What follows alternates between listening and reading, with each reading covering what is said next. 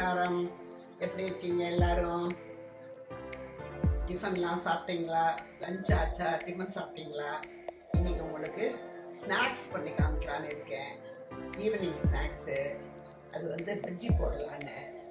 பஜ்ஜி ஒரு நாலு விதமான காயில் போடலான்னு இருக்கேன்.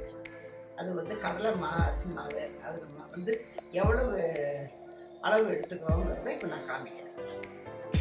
இப்போ பாருங்க நான் இன்னைக்கு உருளைக்கிழங்கு பஜ்ஜி இது ஆப்பிள். வித்தியாசமாக இருக்கும். ஒரு இனிப்பு உப்பு காரம் எல்லாம் இருக்கும். அதனால் ஆப்பிள் அதுக்கப்புறம் வாழைக்காய் ஆனி வெங்காயம். நாலு இதில் பஜ்ஜி போட போகிறேன் நாலு விதமான பஜ்ஜி. இந்த மழை சீசனுக்கு சாயந்தரம் ஸ்நாக்ஸுக்கு ஃபோர் ஃபைவ் ஓ கிளாக்கு நீங்கள் பஜ்ஜியும் சூடாக டீயும் குடிச்சீங்கன்னாக்கா சூப்பராக இருக்கும் உங்களுக்கு. இப்போ நம் இப்போ மாவை வந்து இதை பாருங்க இந்த பதத்தில் கரைச்சிருக்கேன். இந்த பதம் தான் கரைக்கணும். இப்போ காய் அதில் போட்டோம்னாக்கா அதில் மாவு இந்த காயில் அந்த மாவு கோட்டிங் கொடுத்துக்கணும். லைட்டாக கோட்டிங் கொடுத்தா அப்புறம் ரொம்ப திக்காக அந்த மாவு கரைச்சேன்னா அப்புறம் இதுவே வராது. இதுக்கெல்லாம் இப்படி இருக்குது நான் போடும்போது உங்களுக்கு காமிக்கிறேன்.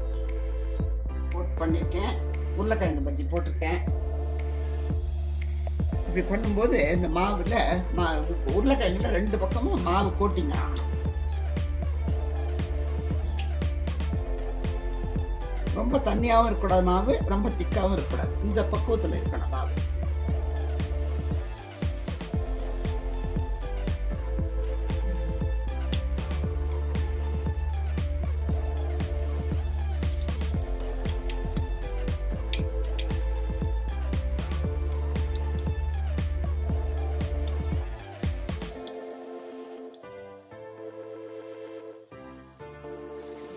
இப்போ கொதி கொதிக்கிற சவுண்ட் அடங்கிட்டு முத்து கொதி கிளாஸ் மாதிரி ஒரு கொதி வருது பார்த்தீங்களா? இந்த ஸ்டேஜில் கேஸை சின்னது பண்ணிவிட்டு நீங்கள் வந்து எடுத்துருவோம் இந்த மாதிரி நீங்கள் கண்ணாப்பை வச்சுட்டேன்னாக்க ஒரு தடவையிலேயே எடுத்துடலாம். எண்ணெயும் வடியும்.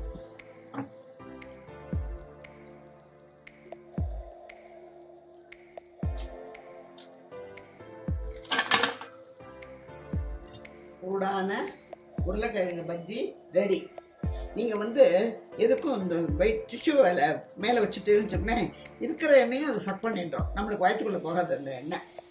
சூடான பஜ்ஜி ரெடி நீங்களும் பண்ணுங்க. டீயோட சேர்த்து சாப்பிடுங்க. எனக்கு ஃபீட்பேக் கொடுங்க. எங்கள் சேனலில் சப்போர்ட் பண்ணுங்க. பாய்